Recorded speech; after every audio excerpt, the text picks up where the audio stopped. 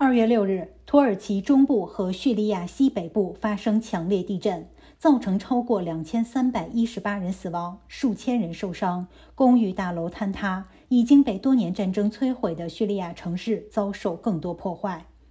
这场里氏七点八级地震发生在当地时间冬日清晨，是本世纪土耳其遭遇的最严重地震。塞浦路斯和黎巴嫩也有震感。下午早些时候又发生了七点五级余震，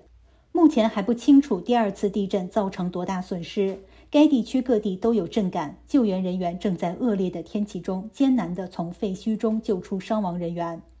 根据土耳其灾难和应急管理局的数据，土耳其的总死亡人数为一千四百九十八人。该国总统埃尔多安早些时候表示，共有两千八百一十八栋建筑坍塌。